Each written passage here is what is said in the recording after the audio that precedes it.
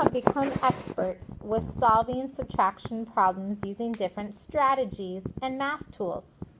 Today, you're going to combine them all together. Start by getting your subtraction cards and putting them in a pile. You're going to get your recording sheet and a dry erase marker. I chose the card 2 minus 1 to work with today. So, oh, before I start, I need to set my timer. I'm going to set my timer for 10 minutes. That way, I don't lose track of time. So now I may continue.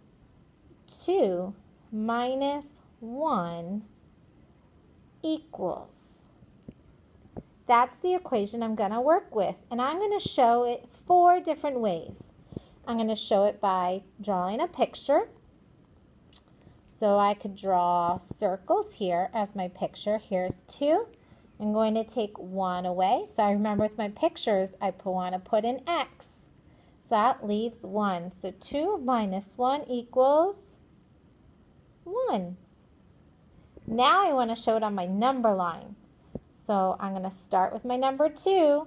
I'm going to hop back 1 and I landed on 1. 2 minus 1 equals 1. Now I'm going to show it in my 10 frame. Two counters. I'm going to put, take 1 away so 2 minus 1 equals 1. And the last one is with cubes.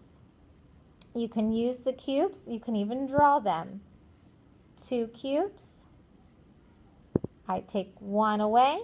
That equals 1. Then you're going to take a picture of your work. Then erase and choose another equation to work with. And you are here for 10 minutes.